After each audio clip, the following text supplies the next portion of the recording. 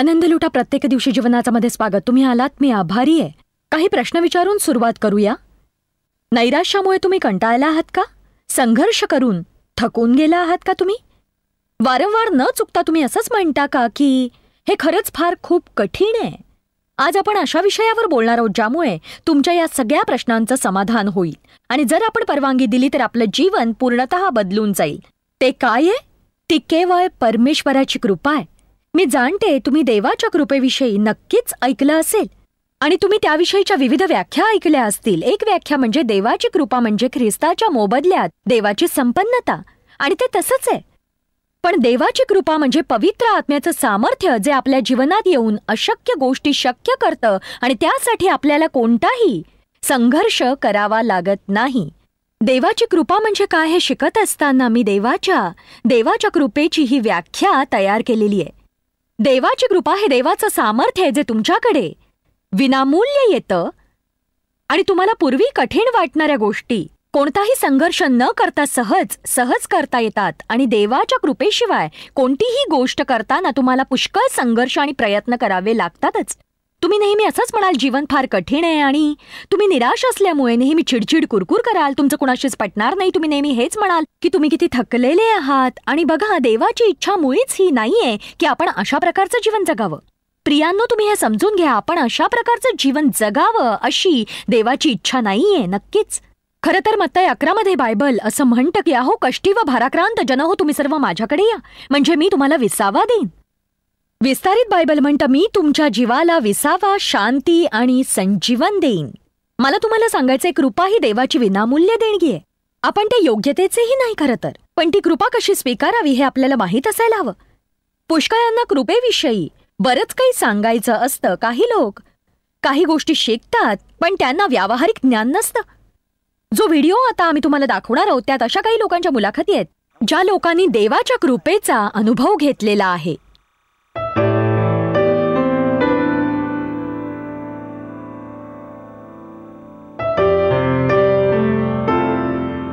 जे काही मी करायचे म्हणजे मी काहीही केलं तरी ते कृत्य माझ्या जीवनासाठी घातक आणि नकारात्मक असायचं. मी योग्य आहे असं मला वाटत नव्हतं. देवाने माझ्यावर का प्रीती करावी? देवाने माझी क्षणोक्षणी का बरं काळजी घ्यावी? मी मी म्हणजे तुम्ही कल्पना करू शकाल एवढा वाईट होतो. मी एका- मी एखाद्या केळसवाण्या डुकरासारखाच होतो. मी आत्महत्या करण्याचा प्रयत्न केला. मी स्वतःचाच तिरस्कार करायचे. मला माझीच घृणा वाटायची.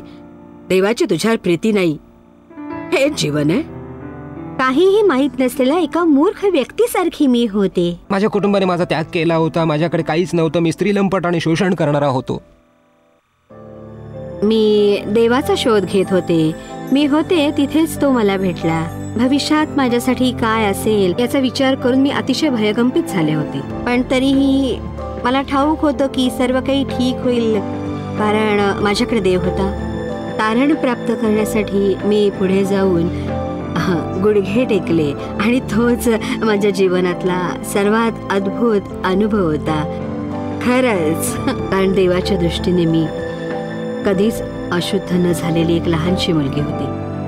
त्याच्या दृष्टीने मी पुन्हा शुद्ध आणि पवित्र नीतिमान आणि सुंदर होते.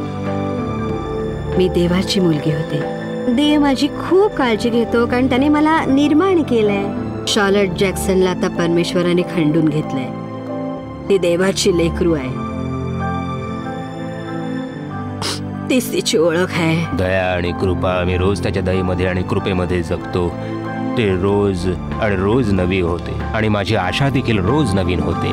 माझ्या मनाचं नवीनीकरण करण्याच्या देवाच्या वचनाच्या प्रक्रियेद्वारे माझ्या हृदयाचं पूर्णपणे परिवर्तन झालंय.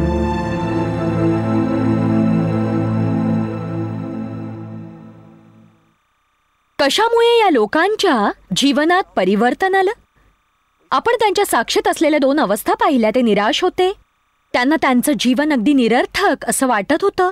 काहींना आत्महत्या करायची होती. त्यांची स्वप्रतिमा डागाळलेली होती. आणि मग ते आपल्याला सांगतात सगळं काही बदललंय? कशामुळे त्यांच्यात हा बदल झाला सांगा मला? त्यांच्या संघर्षांमुळे किंवा प्रयत्नांमुळे किंवा मित्रांमुळे नाही? किंवा बाजारातल्या एखाद्या दुकानातून त्यांना हा बदल स्वतःसाठी विकत विकत घेता आलेला नाही? हे केवळ देवाच्या दयेमुळे आणि कृपेमुळे झालं. परमेश्वराचं सामर्थ्य त्यांच्या जीवनात आलं. त्यांना अशक्य वाटणाऱ्या गोष्टी ते सहज करू शकले. मला तुम्हाला विचारायचंय तुम्ही कधी स्वतःत बदल करण्याचा प्रयत्न केलाय? पुष्कळदा जेव्हा आपण ख्रिस्ताद्वारे आपल्या देवपित्याशी एक नातं निर्माण करतो आपण शास्त्राभ्यास करू लागतो तेव्हा. आपल्या लक्षात येतं आपल्यात काही गोष्टी चुकीच्या आहेत जेव्हा मी शास्त्राभ्यास करायला लागले तेव्हा मला वाटायचं की इतर कुणाचा दोष आहे माझा नाही पण मी जसजसं देववचन वाचलं मला कळलं की दोष माझाच आहे. पण त्यामुळे दुसरी समस्या उद्भवली कारण मी स्वतःच माझ्या समस्या सोडवू पाहू लागले आणि मला याची जाणीव होती की मी मी समस्येत आहे पण देवाकडे जाऊन त्याची मदत आणि कृपा मिळवण्याऐवजी मी स्वतःच माझ्या समस्या सोडवू लागले आणि त्यामुळे माझ्या समस्येत उलट भरच पडली. योहान पंधरामध्ये बायबल म्हणतं माझ्यापासून वेगळे असल्यास तुम्हाला काही करिता येत नाही.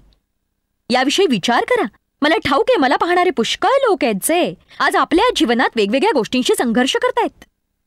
पुष्कळ जण स्वतःशीच संघर्ष करतायत. तुमच्या व्यक्तिमत्वातल्या काही गोष्टी तुम्हाला आवडत नसतील तुमच्या काही सवयी आवडत नसतील तुम्ही जसं वागता ते तुम्हाला आवडत नसेल. कदाचित तुम्ही बेशिस्त असाल आता तुम्हाला शिस्तीत वागायचं असेल. तुम्ही लोकांशी कठोर रीतीने वागत असाल आता तुम्हाला सौम्यतेने वागावंसं वाटत असेल. आणि कदाचित तुम्ही जास्त बोलणारे असाल. कदाचित तुमच्या वैचारिक समस्या असतील. तुमच्या जीवनात व्यसनाशी संबंधित समस्या असतील म्हणून तुम्ही खूप खूप प्रयत्न करून स्वतःला बदलू पाहता आणि जर तुम्ही माझ्यासारखे असाल तर तुम्ही अधिक कसोशीने प्रयत्न कराल सर्व प्रयत्नांती जेव्हा तुमच्या हातून चुकीच्या गोष्टी होतात तेव्हा तुम्हाला वाटतं माझ्यामध्ये नेमकी समस्या काय आहे? आपला सूर प्रेषित पौलासारखा असतो जेव्हा तो रोमकरांस सात मध्ये असं म्हणतो की मला यातून कोण सोडविल? कारण मी काय करीतो ते माझे मलाच कळत नाही. म्हणजे जे मी इच्छितो ते करीतो असे नाही तर जे मला द्वेष वाटते तेच करीतो. आणि पुढे तो म्हणतो मला या मरणाधीन असलेल्या देहापासून कोण सोडविल? आणि त्याला एक महान प्रगटीकरण झाल्यामुळे तो म्हणतो मी देवाचे आभार मानतो की तो सोडविल. सुवार्थेमधली ही एक चांगली बातमी आहे. तुम्ही प्रभू येशू ख्रिस्ताद्वारे देवपित्याशी नातं ठेवू शकता. येशू तुमच्यासाठी मरण पावला तो तुमच्यावर प्रीती करतो. तुमचं तारण तुम्ही चांगल्या कर्मांनी चांगल्या वर्तनाने मिळवू शकत नाही ते देवाचं देवाचं दान आहे. ते देवाच्या कृपेमुळे आपल्याला मिळतं विश्वासाद्वारे आपण ते स्वीकारतो. देव त्याच्या चांगुलपणामुळे आपल्यासाठी तारण उपलब्ध करतो. मीही ख्रिस्ताला माझा तारणारा म्हणून स्वीकारलंय. तुम्ही अनेकांनी ख्रिस्ताला तारणारा म्हणून स्वीकारलं नसेल तर आम्ही या कार्यक्रमाच्या शेवटी त्याला स्वीकारण्याची एक संधी तुम्हाला देणार आहोत. पुष्कळ जण ख्रिस्ताला आपला तारणारा म्हणून स्वीकारतात पण ते विजयी जीवन जगत नाहीत. त्यांची विचारसरणी कधीच बदलत नाही. ते सरळ बोलायला कधीच शिकत नाहीत ते कधीच सरळपणे वागत नाहीत. ते आपलं अवघड जीवन सर्व प्रकारच्या बंधनात घालवतात. कारण स्वतःत बदल कसा करायचा हे त्यांना माहीत नसतं. बायबल वाचल्यामुळे त्यांना बदल करायचा असतो. आपण बायबल उघडून ते वाचतो आणि आपण म्हणतो बायबल म्हणतं की मी ईर्षा करू नये पण माझ्या मनात तर ईर्षा आहे. बायबल म्हणतं मी स्वतःची कीव करू नये पण मी तर नेहमीच स्वतःला कुरवाळत बसते. बायबल म्हणतं की माझ्या मनात नेहमीच चांगले विचार असायला हवेत? असं आपण आपल्या मनावर नियंत्रण ठेवू पाहतो. बायबल म्हणतं आपण दानशूर असायला हवं पण आपण संकुचित वृत्तीचे असतो. बायबलमध्ये जे काही लिहिलंय ते वाचून आपण स्वतःमध्ये बदल करू पाहतो. आणि स्वतःत बदल करण्याचा आपण जितका प्रयत्न करतो तितके निराश होतो कारण देव तुम्हाला त्याच्याशिवाय हे मुळीच करू देणार नाही हे लक्षात घ्या तुम्ही. देवाची इच्छा आहे तुम्ही त्याच्याकडे जाऊन. त्याला असं म्हणावं देवा तुझं वचन हे सत्य आहे. माझ्या जीवनात बऱ्याच समस्या आहेत. देववचन आपली खात्री पटवतं. जेव्हा तुम्ही देववचन वाचता तुमच्या लक्षात येतं तुमचं जीवन अयोग्य आहे तेव्हा तुम्ही तुमच्या जीवनावर दंड ओढवून घेऊ नका. दंडाज्ञा सैतानापासून येते. सैतान आपल्याला काहीच देत नाही आपल्याला निराशेने भरतो आपल्याला मागे खेचतो. सैतान केवळ घात चोरी आणि नाश करावयास येतो. पण प्रभू येशू आपल्याला मदत करतो.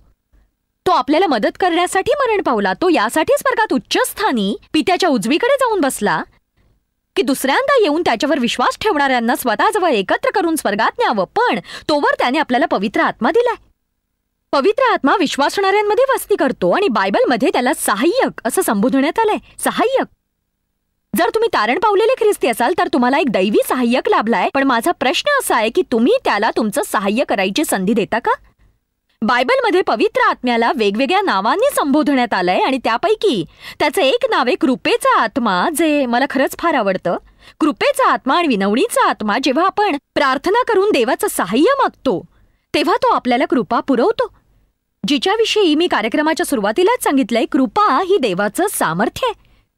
जे आपल्याकडे विनामूल्य विनामूल्य येतं आणि आपल्यासाठी जे काही अशक्य असतं ते सहज शक्य करतं. मी तुम्हाला पुन्हा एकदा विचारते तुम्ही संघर्ष करून थकलात का? तुम्ही नैराश्याने वैफल्याने ग्रस्त होऊन स्वतःच्याच गोष्टींविषयी सतत बोलत असता का? की तुम्ही किती थकला आहात किती दमला आहात? जर तसं असेल तर मी सांगते देवाची कृपा कशी मिळवायची हे तुम्हाला माहीत नाही. कृपेने तुमचं तारण झालं असेल मला वाटतं बऱ्याच जणांनी. किमान पुष्कळच्या तारण पावलेल्या ख्रिस्तींनी कृपेविषयी ऐकलंय त्यांना ठाऊक आहे त्यांचं तारण झालंय. बायबलमध्ये म्हटलंय आपलं तारण कृपेने झालंय म्हणून आपण कृपेमध्येच जगायला हवं. पण कृपेमध्ये कसं जगायचं ते आपण शिकायलाच हवं. उद्याच्या कार्यक्रमात आपण कृपेमध्ये कसं जगायचं ते शिकणार आहोत. पण एक गोष्ट तुम्ही समजून घ्यावी तीच एक गोष्ट तुमच्यात बदल घडवून आणेल आणि तुमचं जीवन पूर्णपणे बदलून जाईल. केवळ देवाच्या सहाय्याने तुम्ही नीतिमत्वाचं शांतीचं आणि आनंदाचं जीवन नक्कीच जगू शकता. पण तुमची परिस्थिती बदलण्यासाठी त्याची मदत त्याचं सामर्थ्य त्याची कृपा मिळवणं हे खरंच खूप महत्वाचं आहे. प्रियांनो माझं ऐका. तुम्ही स्वतः ते बदलू शकत नाही. याचा अर्थ असा नाही की आपण काहीच बदलू बदलू शकत नाही. आपण निर्णय घेऊन पुष्कळशा गोष्टी नक्कीच बदलू शकतो. पण जेव्हा आपलं हृदय परिवर्तन करण्याची गरज येते तेव्हा फक्त परमेश्वरच ते करू शकतो. हे लक्षात घ्या तुम्ही. देव आपल्याला नवीन कोरं हृदय देतो आणि तो आपल्या आत्म्यामध्येही कार्य करू इच्छितो. केवळ देवच. मला हे ओळखण्याची कृपा पुरवू शकतो की मी येणाऱ्या दिवसांमध्ये अशी कोणतीही कोणतीही गोष्ट करू नये ज्यामुळे मी संकटात सापडू शकेन. केवळ देवच मला योग्य निवड करण्यासाठी कृपा आणि सामर्थ्य पुरवू शकतो आणि जेव्हा आपण त्याच्याकडे मदत मागतो तो देतो. तुम्ही अधिक प्रार्थना करा. म्हणजे संघर्ष हा कमी होईलच. अधिक प्रार्थना आणि कमी संघर्ष. विनवणीचा आणि कृपेचा आत्मा तुम्हाला तुमच्या जीवनात मदत करो. मी स्वतःला बदलण्याचा खूप प्रयत्न केला. देवाबरोबर माझं नातं दृढ झाल्यावर मी बायबल वाचू लागले. माझ्या जीवनातल्या चुकीच्या गोष्टींचा शोध घेऊ लागले. आणि काय सांगू? मी खरंच खूप बावरूनच गेले मी चक्क जगिक गोंधळाबरोबर ख्रिस्ती गोंधळाची अदलाबदल केली होती. पण देवाचे आभार? देवाचे आभार की शेवटी मला देवाची कृपा अनुभवायला मिळाली? खरं तर मला देवकृपेविषयी एवढं काही शिकायला मिळालं. मी एक पुस्तक लिहिलं जर देवाची कृपा नसती तर. हे पुस्तक मी काही वर्षांपूर्वी लिहिलं. आजही मला तुम्हाला या पुस्तकातून शिकवायचं आहे आणि मी याचा उल्लेख करते कारण देवाची कृपा आपल्या जीवनात सामर्थ्याने कार्य करते. तुम्ही कशाविषयी गोंधळलेले आहात मुलांविषयी? तर मग तुम्ही त्यांना बदलण्याऐवजी देवाने त्यांना बदलावं अशी इच्छा करा. तुम्ही तुमच्या विवाहाविषयी वैतागले आहात का? तुम्ही तुमच्या साथीदाराविषयी वैतागलेले आहात का? त्यांचं वागणं तुम्हाला आवडत नाही त्यांचा स्वभाव आवडत नाही त्यांच्यात काहीतरी बदल व्हावा असं तुम्हाला वाटतं? तुम्ही त्यांना बदलू शकत नाही. आपण त्यांच्या हृदयात शिरून त्यांना बदलू शकत नाही. आपण लोकांच्या मागे तगादा लावून किंवा त्यांचा पिच्छा पुरवून किंवा त्यांच्याशी वाद घालून त्यांच्यावर नियंत्रण ठेवण्याचा प्रयत्न करू शकतो पण हे क्षणभरच टिकतं आणि ते कायमस्वरूपी नसतं. मला आठवतंय की इतकी वर्ष मी प्रयत्न करत राहिले माझ्या नवऱ्याने खेळावर प्रेम करू नये कारण मला खेळ आवडत नव्हते. डेवला ते आवडायचे आणि मी नेहमी म्हणते की डेवला उसळणारं आणि घरंगळणारं आवडतं. मला ते आवडत नव्हतं म्हणून त्यालाही ते आवडू नये. असंच मला वाटायचं. त्याने काहीही काहीही साध्य झालं नाही. जितकं अधिक मी त्याला बदलू पाहायचे तितकं अधिक त्याला ते आवडायचं. शेवटी मला जाणवलं आणि मी देवाला म्हटलं की देवा जर तो वाहवत चालला असेल तर केवळ तूच बदल. कदाचित तो नियंत्रणाबाहेर नसेल कदाचित मी चुकत असेन पुष्कदा आपल्याला वाटतं दुसऱ्यांचं चुकतंय पण चूक आपलीच असते. आणि देवाला आपल्या जीवनात कार्य करायचं असतं म्हणून आपण इतरांना देवाच्या हाती सोपवून आपल्या जीवनात देवाला कार्य करू द्यावं. ऐकताय ना तुम्ही? मला ठाऊक आहे हे थोडंसं कठीण जाणार आहे पण आज आपल्याला हेच ऐकायची गरज आहे. मी जिथं होते तिथंच तुम्ही असाल. तुम्हाला वाटतं प्रत्येकाला बदलण्याची गरज आहे? तुम्ही इतरांना बदलू पाहता? मी डेव्हला आणि माझ्या मुलांना माझ्या शेजाऱ्यांना माझ्या आईवडिलांना आणि मैत्रिणींना बदलण्याच्या प्रयत्नात गुंतले होते. पण एक सांगू का? त्यामुळे मी फार निराश झाले. शेवटी मला कळलं मी कनिष्ठ पवित्र आत्मा व्हायची गरज नाही. लोकांना त्यांच्या चुकांची जाणीव करून देणं हे माझं काम नाही. मी त्यांच्यासाठी प्रार्थना करायला हवी आणि त्यांच्या जीवनात जे बदल आवश्यक आहेत ते बदल करण्यासाठी मी देवावर विसंबून राहायलाच हवं. हा कार्यक्रम पाहणाऱ्या पुष्कळांनी आज नेमकं हेच करायची गरज आहे. आपण आता एक लहानशी विश्रांती घेणार आहोत आणि पुन्हा आल्यावर आपण देवकृपेविषयी अधिक शिकणार आहोत की कृपेने तुमचं तारण कसं होऊ शकतं तुम्ही कृपेने कसं जगाल? आम्ही तुम्हाला एका जोडप्याची साक्ष दाखवणार आहोत ज्यांचं जीवन देवाच्या कृपेने झालेल्या तारणामुळे पूर्णपणे बदलून गेलं. तर बघूया. जेव्हा बॉब आणि कॅरल विल्सननी आपलं हृदय देवाला दिलं आमच्या बर्मिंगहॅम इथल्या सभेमध्ये तेव्हा त्यांनी प्रथमच हे अनुभवलं की देवकृपेमुळे कसं त्यांचं यातनामय जीवन सुखमय झालं. तुम्ही ख्रिस्ताला तुमचा तारणकर्ता म्हणून स्वीकारा. तुम्ही तुमचे हात वर करून माझ्याबरोबर ही प्रार्थना करू बॉब विल्सनला वाटलं की ही करता येण्यासारखी शेवटची गोष्ट आहे. दिलेल्या आव्हानाला प्रतिसाद देऊन प्रभू येशूला आपला तारणारा म्हणून स्वीकारणं. बॉबने आपल्या संपूर्ण जीवनात देवावर कधीच विश्वास ठेवला नव्हता. जेव्हा तो इंग्लंडमध्ये वाढत होता तेव्हा तिथल्या जाचक चालीरीतींमुळे आणि धर्मामुळे तो निराश झाला. आणि त्या रात्री बर्मिंगहॅम इथल्या जॉयस मायरच्या सभेत बॉब आला आणि त्याची पत्नी कॅरल यांच्या जीवनाची एका नव्याने सुरुवात झाली. त्या रात्री सभेच्या शेवटी जेव्हा त्यांनी पश्चातापासाठी आव्हान केलं तेव्हा मला जाणीव झाली की माझी वेळ आली आहे. मी माझा हात वर करून पुढे गेलो आणि माझं हृदय देवाला अर्पण केलं आणि माझी माझी पत्नी जी तेव्हा विश्वासात मागे होती उठली आणि माझ्या बरोबर आली. त्यावेळेस त्या घटनेचं महत्त्व माझ्या माझ्या लक्षातच आलं नव्हतं. ती फारच महत्वाची घटना होती. फारच महत्वाची होती. माझी आई खूपच सुखावली. ती तीस वर्षापासून प्रार्थना करत होती की तिच्या संपूर्ण कुटुंबाने ख्रिस्ती या नात्याने एकत्र राहावं. देव हळूहळू बॉबला बदलत होता. वर्षानुवर्ष त्याच्या हृदयात असलेला रीतेपणा देव दूर करत होता. ज्या व्यसनामुळे बॉबची पहिली दोन लग्न उद्ध्वस्त झाली आणि आता हेही लग्न उद्ध्वस्त व्हायच्या मार्गावर होतं पण तो आता त्यातून बाहेर येऊ लागला होता. मी एका अशा कुटुंबातून आलोय जिथं दारूचा आस्वाद घेतला जातो. आणि अ, त्यामुळे माझं जीवन अगदी पूर्णपणे उद्ध्वस्त झालं. मी मी घरं गमावली. दारूच्या व्यसनामुळे मी मी पुष्कळ घरं गमावली. कारण मी घराचं भाडं भरण्याऐवजी दारूवर पैसे खर्च करणं पसंत करायचो. तो कामावरून यायचा. मग आम्ही दोघं मिळून पबमध्ये जायचो. नंतर तो जवळजवळ चार किंवा पाच पेग प्यायचा. परत दोन तीन पेग विस्कीचे प्यायचा. मग पिऊन आम्ही घरी यायचो आणि घरी येताना तो आणखीन एक पेग विकत घ्यायचा असं दोन वर्ष चाललं होतं. सतत दोन वर्ष. देवाच्या साह्याने बॉब ह्या व्यसनातून आता पूर्णपणे बाहेर पडलाय आणि त्याने आता आपल्या जीवनातल्या दोन महत्त्वाच्या नातेसंबंधांवर आपलं लक्ष केंद्रित केलंय. देवाबरोबर आणि त्याच्या पत्नी बरोबर असलेलं त्याचं नातं. आम्ही एकमेकांच्या खूप जवळ आलोत कारण जेव्हा तुमच्या जीवनात समस्या असते तेव्हा तुमच्यामध्ये एक आडभिंत असते. आणि आता ती आडभिंत नाही आहे आणि माझ्या मते सर्वात महत्त्वाची गोष्ट ही आहे की आम्ही एकमेकांचा विश्वास संपादन करतो. जेव्हा मी कार्यालयात नसायचो तेव्हा मी पबमध्ये असायचो. म्हणून आम्ही एकत्र वेळ घालवू शकत नव्हतो उत्तम एकत्र समय घालवत नव्हतो. जेव्हा आम्ही दोघं एकत्र असायचो तेव्हा आमच्यामध्ये इतर लोकही असायचे आणि आम्ही चुकीच्या ठिकाणी चुकीच्या वेळी एकत्र असायचो. आम्हा दोघांसाठी आमच्याकडे वेळच नसायचा. फक्त तू आणि मी. पण आता आता आमच्याकडे एकमेकांसाठी भरपूर वेळ आहे. हो आणि त्यामुळे खूप. मोठा फरक पडतो.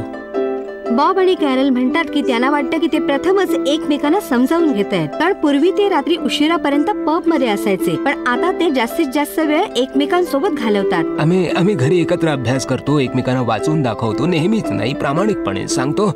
पण आम्ही असंच करू कारण आम्हाला खूप लांबचा पल्ला एकत्र गाठायचा. पण जॉयस म्हणते त्याप्रमाणे मी जिथं असायला हवं तिथे नाहीये पण देवाची स्तुती असो की मी पूर्वी जिथे होतो तिथे आता नाहीये. आता आम्ही एकत्र आहोत आणि मला वाटतं की एकत्रपणे पुढे जायला देवाने आम्हाला एकत्र आणलंय. आम्ही एकमेकांच्या खूपच खूप प्रेमात पडलोय कारण मला माझा नवरा मिळाला आहे. जो आता दारूच्या व्यसनात नाहीये. आणि आम्हाला प्रभू येशू लाभलाय. म्हणजे अगदी बरोबर. आमच्यावर येशू एवढी प्रीती कोणीच करत नाही. प्रभू येशूच देव आहे. बरोबर.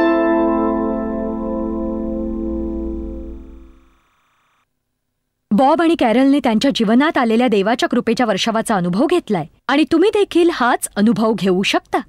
मी सुरुवातीलाच म्हटलं तसं प्रथम आपण देवाच्या कृपेचा स्वीकार करायला हवा म्हणजे आपलं तारण होईल आणि प्रभू येशूच्या मरणाद्वारे आणि त्याच्या पुनरुत्थानाद्वारे देवाबरोबर आपलं नातं प्रस्थापित होईल. प्रभू येशूने तुमची खंडणी भरली म्हणूनच तारण प्राप्त करण्यासाठी बॉबने चांगलं असण्याची गरज नव्हती. स्वतःत बदल करण्याची त्याला गरज नव्हती. तुम्ही बॉबच्या साक्षीत हे ऐकलंच असेल. की तो होता त्या अवस्थेत देवाने बॉबचा स्वीकार केला. बघा तो दारू पित होता. तो पबमध्ये जात होता. आणि तो दारू प्यायचा अगदी अगदी अगदी रोज रात्री पण. देवाने त्याच्यावर एवढी प्रीती केली की बॉब जिथे होता तिथेच देवाने त्याची भेट घेतली त्याला एक नवीन हृदय दिलं त्याला नवीन इच्छा दिल्या त्याने दारू पिणं सोडून दिलं. दारूच्या व्यसनातून बाहेर पडायला बॉबला काही महिने लागले पण तो त्या नवीन जीवनात पुढे जात राहिला जे त्याला प्रभू येशूमध्ये लाभलं आणि तो सतत दंडाज्ञेचा नव्हे तर देवाच्या प्रीतीचा मदतीचा आणि शिक्षणाचा अनुभव घेत होता. आणि तो देवावर विसंबून राहू लागला. तुम्ही तुमच्या जीवनात नेमकं कुठे आहात मला माहीत नाही. मला याची जाणीव आहे हा कार्यक्रम पाहणाऱ्या पुष्कळ लोकांना प्रभू येशू बरोबर वैयक्तिक नातं प्रस्थापित करायची गरज आहे. जर तुमचं तारण झालं असेल तर तुमच्या दैनंदिन जीवनात देवाची कृपा कशी मिळवायची हे शिका. म्हणजे तुम्हाला नैराश्याचा आणि संघर्षाचा सामना करावा लागणार नाही. मी लिहिलेलं पुस्तक जर देवाची कृपा नसती तर तुम्हाला निराशामुक्त आणि संघर्षयुक्त जीवन जगायला मदत करेल. आणि आता मी या पुस्तकात दिलेला शास्त्रभाग वाचून दाखवणारे याची सुरुवात इफिस्करास अध्याय दोन वचन आठने झालेली आहे. तुम्ही ते लक्षपूर्वक ऐका. ते म्हणतं कारण कृपेनेच विश्वासाच्या द्वारे तुमचे तारण झालेले आहे आणि हे तुमच्या हातून तुमच्या हातून झाले असे नाही. तर हे देवाचे दान आहे. तुमच्या विश्वासामुळे तुमचं तारण होतं. जर तुम्ही देवावर विश्वास ठेवला नाही तर तुमचं तारण शक्य नाही. जर तुम्ही त्याच्याकडे जाऊन हे कबूल केलं नाही की तुम्ही पापी आहात आणि तुम्ही आपल्या पापांबद्दल देवाची क्षमा मागितली नाही तर तुमचं तारण शक्य नाही पण जर तुम्ही विश्वासाने काही मागितलं तर तो तुम्हाला नवी उत्पत्ती बनवेल. तो तुम्हाला नवं कोरं जीवन जगण्याची संधी देईल. त्याचा अर्थ असा नाही का रात्रीत तुमच्या समस्या निघून जातील. एक गोष्ट मी नेहमी सांगते की येशू बरोबर घालवलेला तुमचा सगळ्यात वाईट दिवस त्याच्याशिवाय घालवलेल्या उत्तम दिवसापेक्षा चांगला आहे. तुम्हाला नवीन जीवन मिळेल आणि हे सगळं काही कृपेमुळे मिळेल. आता हे ऐका कारण कृपेनेच विश्वासाच्या द्वारे तुमचे तारण झालेले आहे आणि हे तुमच्या हातून झाले असे नाही तर हे देवाचे दान आहे. कोणी आढ्यता बाळगू नये. म्हणून कर्मे केल्याने हे झाले नाही.